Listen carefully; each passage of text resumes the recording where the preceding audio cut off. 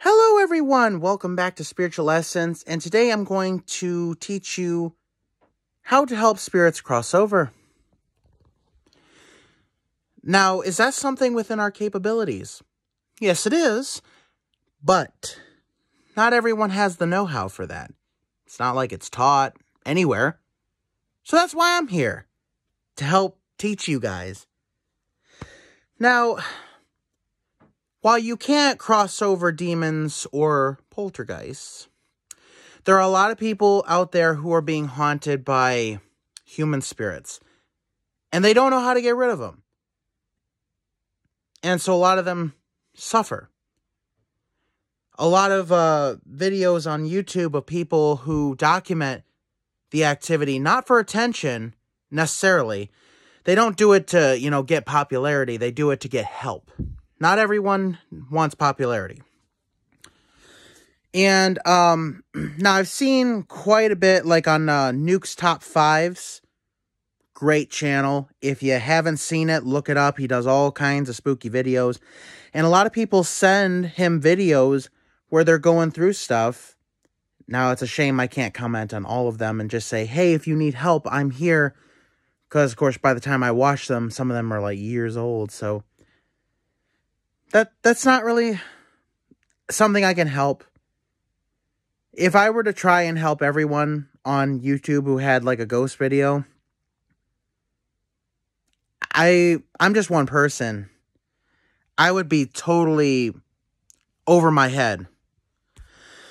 But for those who watch my channel, and uh, if anyone knows anyone who could use this channel, send them my way. And I'd like to help you. So there's a lot of spirits who choose not to cross over, whether it be because they still feel like they need to do something, unfinished business, or they're afraid of crossing over into a place called hell where they could, you know, suffer forever. Or they're afraid of what's on the other side because it's not exactly what they'd hoped. And others, they want to stay behind because they still believe like it's their house and you're intruding, even though they're dead. So, you can't always help spirits. Some are set in their ways.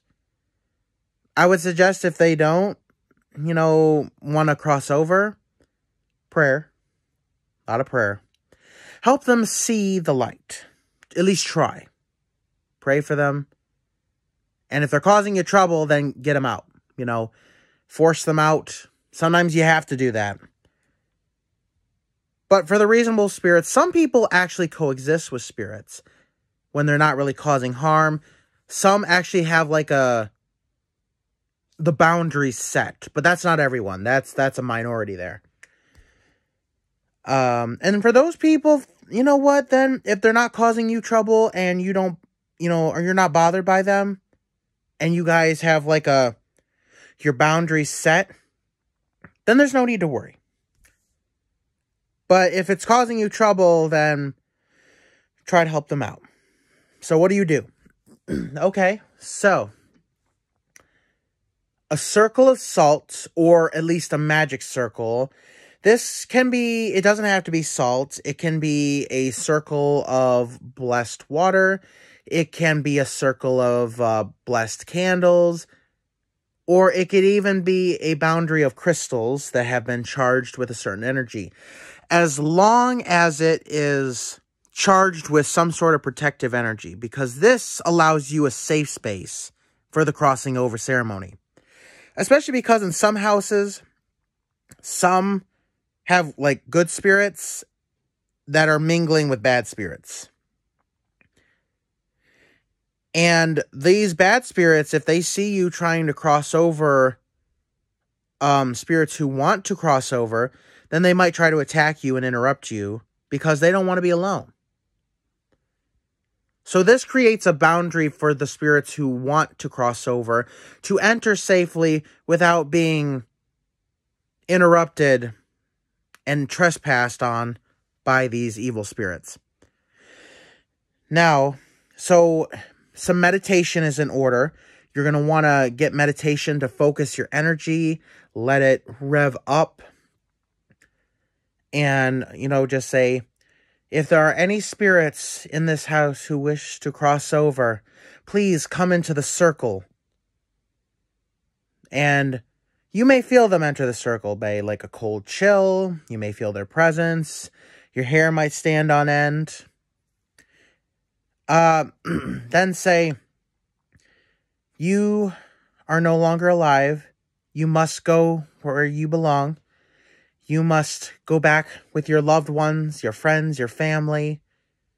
Look up and look for the light. Now, in your mind, envision a hole opening up in the ceiling that's dropping down rays of heavenly light. And make it a decent size hole, like huge. And um, now just say, go towards the light, go forth into heaven, and be with your loved ones, continue your spiritual path. And you'll feel it if they go. The cold chill will be gone, you won't feel their energies, and all will be calm. And, you know, negative spirits are a different breed entirely. So if you're trying to work on crossing over an angry spirit, one that, you know, anger has just filled their entire being, and they're not going to go willingly. So at that point, make the magic circle. And I would suggest cleansing the area that has the most activity Well, now that I think of it, cleanse the whole house, of course. Just make that part the last part. The area with the most uh, activity, kind of enclose them in. Make sure that you, they can't leave. Now, I know this, this may sound like entrapment, but you, I mean, you are trying to help them. Within the room that has the most activity, I would put uh, quartz crystals in the four corners of the room so that they would absorb any negative energy that the spirit has. You can also have sage and sage the room too. You can have uh, blessed incense or, you know, holy candles other than what's in your magic circle.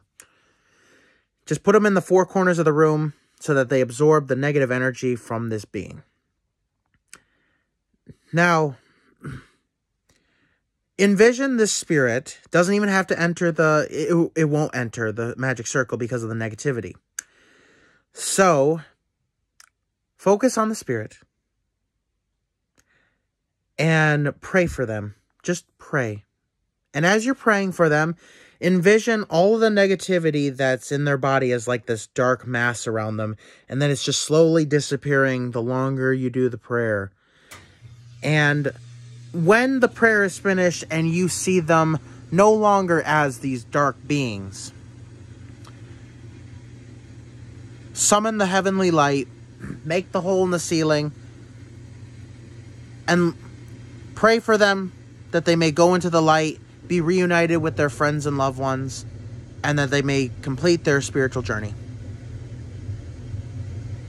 Now, this may work, this may not work, depending on how angry the human spirit is. And if it does not work, then you may have to force them out because um, you live in your house. You are the one who owns that house now, and they are the trespassers now, even though they might not see it that way. So you may have to force them out. But one cannot be faulted for trying. And um, you cannot force spirits to go toward the light. They have to want to. Um, these techniques that I've taught you with the quartz crystals to absorb the negative energy, praying for them, will help uh, get rid of a lot of the negative energy that's weighing them down, that's keeping them there, and help them see clarity. Because some people, when they die, and they have tons of negative energy still stuck in their spirits, they cannot see clearly. They may think they're still alive. They may think that you are the trespasser in their home. So prayer will help them see the light, literally, and help them see clarity and know that they are not supposed to be there anymore. They have died. They need to move on. So that is how you would cross over a spirit. It cannot be forced. They have to want to, but these are the techniques that you can do to help cross over a spirit. Now, if you are forcing them out when you are cleansing the house with sage, leave the uh, leave the windows open. A window in each room. That way, as the smoke is going out, the spirits will most likely follow and leave. But when you are trying to help them, close all the windows. And that's why I say save the room in the house that has the most activity for last because that's going to be their safe space. That's going to be the space that they're most comfortable in. So once you cleanse each space of the house, they're going to go into their safe space and hide. And that's where you got them. Now, if it does not work, you can't force them. So you just have to force them out. It may seem bad. It may seem like, you know, hey, they're they may be spirits, but they're people too. Well, sometimes that's what you have to do if you can't make peace with them or you can't help them move on. If you have any questions about this, maybe something that I forgot to mention, or uh, if you're dealing with a spirit in your house and you would like some help, please uh, contact me down in the comments or uh, my email that is associated with my channel. I believe I have it. Let me check. I believe I did an email for this channel. Uh, let's see. Ah, yes.